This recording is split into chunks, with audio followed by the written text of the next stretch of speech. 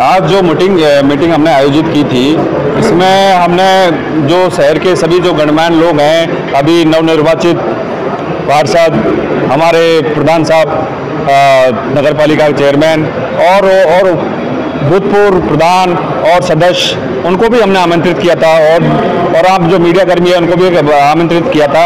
इस हमारी जो आज की मीटिंग था, इसका उद्देश्य था कि जैसे नशा हमारे महम नहीं, पूरे हरियाणा में जैसे पैर पसार रहा है और हमारे समाज, हमारे लोग, हमारे क्षेत्र को बर्बाद कर रहा है, उसके खिलाफ हम एक अभियान चलाएँ और हम इस महम क्षेत्र को नशा मुक्त करें, ज़्यादा से ज़्यादा लोगों को जागरूक करें। साथ में हमने आज की मीटिंग के माध्यम से सभी लोगों से अपील की है कि इस, इस जो हमारी जो अभियान है इसमें एकजुट होकर हमारा सहयोग करें जिससे हम इस मुहिम को नशा मुक्त के रूप में स्थापित कर सकें। तो कुछ गणमान्य व्यक्तियों ने कुछ जगह चिन्हित की है तो क्या उन पर पकड़ की जाएगी इसके लिए हम हम एक पुलिस की तरफ़ से एक टीम बनाएँगे जिसमें हम कुछ एन हैं कुछ हमारे जो शहर के जो युवा पीढ़ी है उनके लोगों को भी शामिल करेंगे। और उसके आधार पर यदि जैसे जो चिन्हित जगह होगी जहाँ पर हमें यदि सूचना मिलती है कोई नशे का कारोबार कर रहा है या तस्करी कर रहा है तो उसके खिलाफ हम कानूनी कार्रवाई करेंगे। शहर में कुछ होटल है दुकानें जिन पर बगैर लाइसेंस के दारू पिलाई जाती है उन पर भी कुछ कार्रवाई बिल्कुल यदि ऐसा मामला हमारे यदि संज्ञान में आता है और यदि कोई ऐसी सूचना हमें किसी के माध्यम से भी मिलती है तो उसके खिलाफ सख्त कार्रवाई की जाएगी। तो क्या संदेश देना चाहिए मैं आप लोगों के माध्यम से सभी लोगों को और सभी क्षेत्रवासियों को ये संदेश देना चाहूँगा कि नशा जैसी एक सामाजिक बुराई है ये न केवल आपको बर्बाद करती है पूरे परिवार पूरे समाज पूरे देश को बर्बाद कर रही है। आप किसी न किसी घर के चिराग हो किसी न किसी घर के वारिस हो तो आप इस नशे के नशे से दूर रहें और जो नशे का कारोबार करता है उसमें उसको पकड़ाने में हमारी मदद करें। जो भी कोई सूचना देगा उसकी पहचान गुप्त रखी जाएगी और उनको उचित इनाम भी दिया जाएगा। सर क्या शहर में पेट्रोलिंग बढ़ाई जाएगी? इसके लिए हम स्पेशल टीम बना रहे हैं और सिविल ड्रेस में भी हम पुलिस कर्मियों को छोड़ेंगे जो लगातार जहाँ हमें सूचना मिलती है या उसके आसपास वो घूमते रहेंगे पेट्रोलिंग करते रहेंगे और कार्रवाई करेंगे। ये चीज़ हम इनको मैसेज पहुंचाएँगे। जो लोग ऐसे खरीद बेच करते हैं, उन पर हम एकजुट होकर एक इंफॉर्मेशन सिस्टम डेवलप करके उनके खिलाफ कार्रवाई करेंगे। और हमारी जो पीढ़ी है, उनको समझाएँ। तो मुझे लगता है कि इस समस्या से हम निजात पा सकेंगे। क्योंकि यदि हम नशे के बाद नशे के यदि प्रभाव के पे जब जाए तो यदि हम सामाजिक प्रभाव की इसकी बात करें, और इसका जो सबसे ज़्यादा नुकसान होता है, वो होता है एक महिला को। भुगतना पड़ता है। इसका सबसे ज़्यादा प्रभाव पड़ता है महिला में पड़ता है। क्योंकि एक आदमी शराबी है, वो उसकी पत्नी है। आएगा, शराब पी के उसके साथ मारपीट करेगा। उसकी बेटी होगी, कल के दिनों कहीं रिश्ता करना जाए, करने जाएगा। जी इसका बाप नशेड़ी है, शराबी है। उसकी बेटी का रिश्ता नहीं होगा। बहुत मुश्किलें आएँगी। बहुत मुश्किलें आएँगी। बच्चे हैं बच्चे जो जिनको जाना था स्कूल, वो आपके चाहे साई सेंटर हो या फिर और कहीं बावड़ी के वहाँ पर जाके इंजेक्शन ले रहे हैं, बैठ के नशा फूक रहे हैं। वहीं से शुरुआत हो जाती है अपराध की दुनिया की। अपराध की दुनिया की शुरुआत भी वहीं से होती है, क्योंकि जब नशे की जब आदत लग जाती है, एक ऐसी चीज़ होती है, ये अपने ब्रेन होती है, मस्तिष्क होते हैं, उसको प्रभावित करती है। उसके बाद हमारी बॉडी की ज़रूरत हो जाती है इसको लेना। तो जैसे ही डिमांड होगी तो उसको उसको उसको खरीदने के लिए पैसा चाहिए। और पैसा पैसा लाने के लिए वो कहीं चोरी करेगा, किसी की डकैती करेगा, कहीं लूट करेगा, और कोई दे, कोई नहीं मिला, पैसा नहीं मिलता तो किसी का मर्डर करेगा। और उसका परिणाम किसको भुगतना पड़ता है? उसके निर्दोष माँ बाप उसकी जमानत कराते फिरेंगे, पुलिस में चक्कर लगाएँगे। उनके चक्कर में उनको भी शामिल कर लिया जाता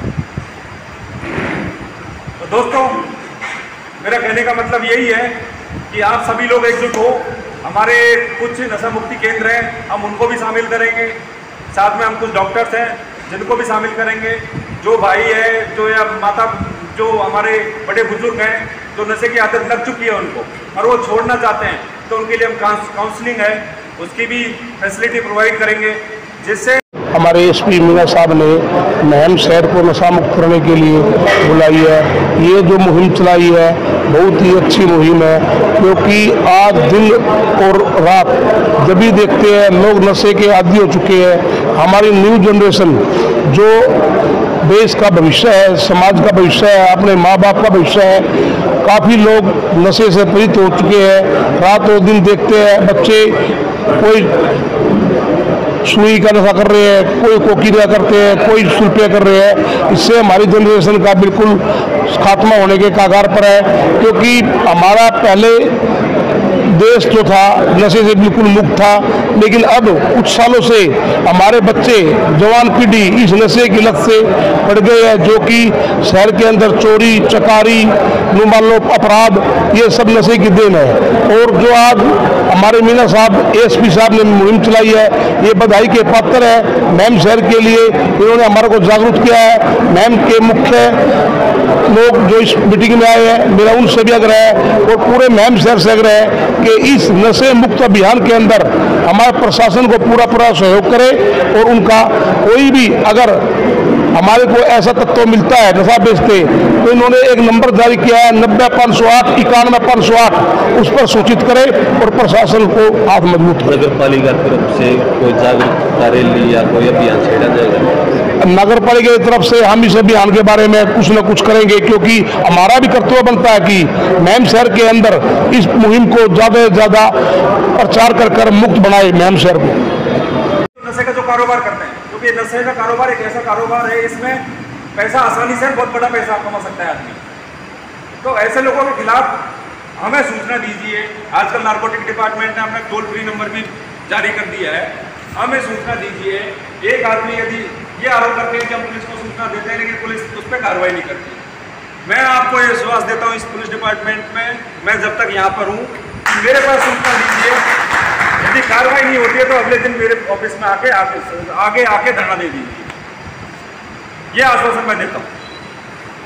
लेकिन आप लोगों को एकजुट होकर मदद करनी पड़ेगी, सहयोग करना पड़ेगा, और हम इस प्रयास को ऐसा नहीं कि महम तक ही महम के आसपास में जितने भी गाँव हैं, वहाँ तक जाएँगे, लोगों को जागरूक करेंगे तो महिला को भी शामिल करेंगे, जिससे हमारे प्रयास से यदि एक आदमी का घर या, या एक आदमी की ज़िंदगी यदि सुधरती है और बर्बाद होने से बचती है तो ये भी लिए- हमारे लिए बहुत बड़ी उपलब्धि होगी।